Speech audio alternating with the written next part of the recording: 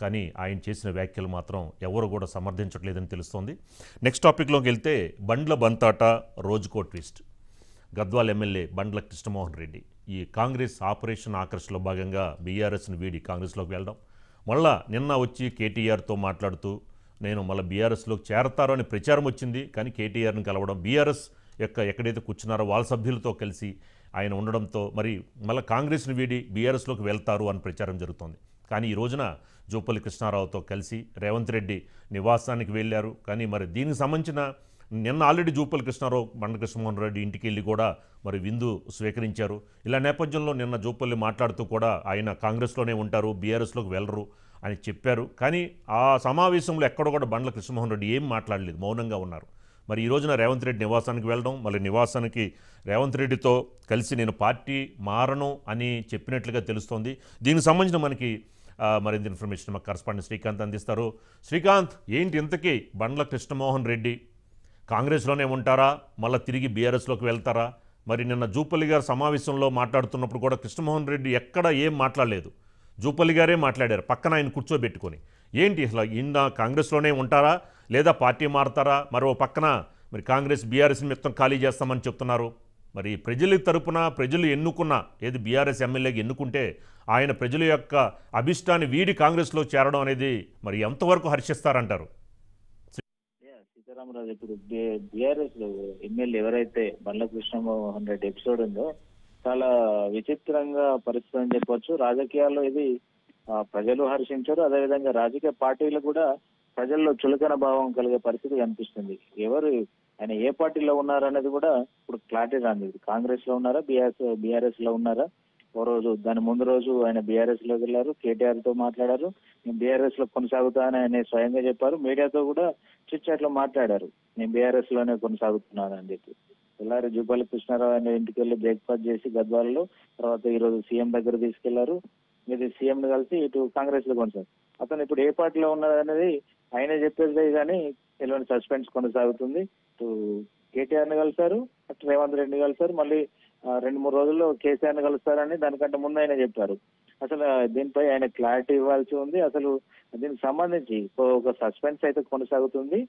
ఎవరైతే కొంతమంది ఉన్నారో జైన్ అయిన ఎమ్మెల్యేలు అక్కడ మాకు తగిన ప్రాధాన్యత దక్కర్లేదని లాబీల్లో లాబీలో అసంతృప్తి వ్యక్తం చేసిన పరిస్థితి కనిపించింది. అయితే జూపల్లి నిన్న వెళ్ళి ఆయనతో బ్రేక్ఫాస్ట్ చేసిన సందర్భంగా ఆయన ప్రధానంగా కొన్ని డిమాండ్లు ఆయన ముందుంచినట్టుగా తెలిసింది. ఈ డిమాండ్లు కనుక నెరవేర్చితేనే నేను పార్టీలో కొనసాగుతాను సీఎం వచ్చి కలుస్తాను అనేది చెప్పినట్టుగా తెలుస్తుంది. అయితే ప్రధానంగా ఆయనకు నియోజ నియోజకవర్గంలో ఆయన మీద ఎవరైతే కాంగ్రెస్ అభ్యర్థిగా కంటెస్ట్ చేశారో సత్యదేవతయ్య వారు ఇప్పటికీ కొనసాగిస్తున్న వారి అంశాల నుంచి నాకు తీవ్ర వ్యతిరేకత ఏర్పడుతుంది. వాళ్ళు నాకు ఇట్లాంటి వారి నుంచి వ్యతిరేకత రాకుండా నియోజకవర్గంలో నాకే పూర్తి స్థాయి బాధ్యతలు అప్పగించాలని చెప్పి అధిష్టానానికి కోరినట్టుగా తెలిసింది ఇంకో విషయం ఆయన మీదనే తిరుపతి ఎవరైతే కంటెస్ట్ చేశారో సరిత తిరుపతయ్య కోర్టులో పిటిషన్ దాఖలు చేశారు. ఆయన ఎన్నికల అఫిడవిట్ తప్పుగా ఉందని. ఆ కేసును కూడా విత్డ్రా చేసుకోవాలని చెప్పి ఒక ఆయన డిమాండ్ పెట్టినట్టుగా తెలుస్తుంది. అదేవిధంగా నియోజకవర్గ సంబంధించినటువంటి పెండింగ్ బిల్లులు ఉన్నాయి. దాదాపు వందల కోట్లలో ఉన్నట్టుగా తెలిసింది అవి కూడా వెంటనే రిలీజ్ చేయాలని చెప్పి ఆయన డిమాండ్ పెట్టినట్టుగా తెలుస్తుంది.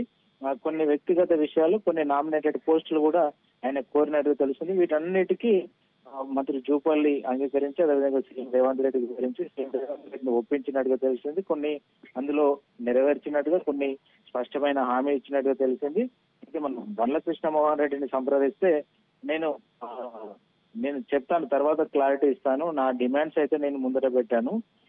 సీఎం ముందుంచాను పార్టీ ముందుంచాను.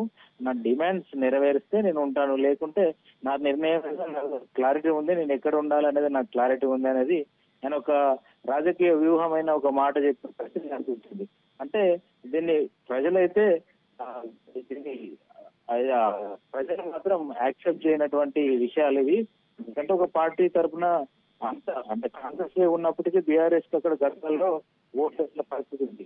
అక్కడ ప్రజల ఎవరైతే ఓటేశారో వారిని ఇబ్బంది పెట్టినటువంటి పరిస్థితి ఎందుకంటే ప్రజల తీర్పును అగౌరవపరిచినట్టే అని చెప్పొచ్చు ఇటీవల ఏ పార్టీ నుంచే గతంలో బీఆర్ఎస్ కాంగ్రెస్ ఎమ్మెల్యేలను జైన్ చేసుకున్న పరిస్థితి నుంచి కానీ ఇప్పుడు బీఆర్ఎస్ కాంగ్రెస్ ఎమ్మెల్యే కాంగ్రెస్లోకి జైన్ చేసుకున్నటువంటి పరిస్థితి కానీ ప్రజలు మాత్రం ఆశించే పరిస్థితి లేదు. ఎందుకంటే ఒక ఫలానా క్యాండిడేట్కు ఎమ్మెల్యేకు ఆ నాయకునికి వేస్తే ఈ పార్టీలో ఉంటారు మాకు సేవ చేస్తారని ఇస్తే అదే పార్టీలో ఉంటాడని గ్యారంటీ మాత్రం ఉండని పరిస్థితి నెలకొంది ఎందుకంటే దాదాపు అంత వ్యాపారవేత్తలు ఎమ్మెల్యేలుగా రావడం వ్యాపారవేత్తలు వారి వ్యాపారాలు కాపాడుకోవడం కోసం వారి పార్టీలు మారడం ఇట్లాంటి అన్ని గ్రౌండ్లో చూస్తుంటే ప్రజలు మాత్రం రాజకీయాలని అసహించుకున్నటువంటి పరిస్థితులు నెలకొంటాయని చెప్పి రాజకీయ విశ్లేషకులు కావచ్చు కింది స్థాయిలో కొంతమంది కార్యకర్తలు కావచ్చు ఆగ్రహం వ్యక్తం చేస్తున్నారు. అసలు. వేలైన ఎమ్మెల్యేలను అసలు ఎవరైతే కట్టల కార్యకర్త ఉంటారో కండవ కప్పుకున్న కార్యకర్తలతో వ్యతిరేకిస్తున్న పరిస్థితి కనిపిస్తుంది. ఈ బండ్ల ఎపిసోడ్ తోటి కొంతమంది ఎమ్మెల్యేలు ఎవరైతే ఉన్నారో జైన్ అవుతారని చెప్పినారు. వారు డైలమాలో పడ్డట్టు కూడా మనకు తెలుస్తున్నటువంటి పరిస్థితి కనిపిస్తుంది. అయితే ఈ బండ్ల కృష్ణమోహన్ రెడ్డి ఎపిసోడ్ అయితే ఇది ఒక విచిత్రంగా సంఘటన అని కూడా చూడొచ్చు. Right thank you Srikanth